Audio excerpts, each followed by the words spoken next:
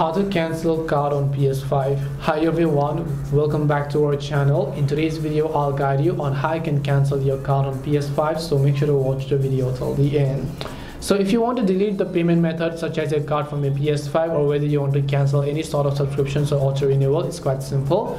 First of all, just head over to the settings option from the top right hand side of the screen. Then just go to users and accounts section. When you go to users and accounts, over here you'll be able to see the accounts option.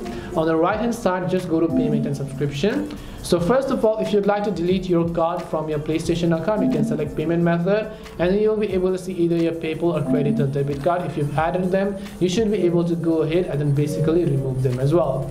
But if you have any sort of subscriptions, you can click the subscriptions tab and cancel them. If you have game subscriptions, you can come to game and app services and cancel them accordingly as well.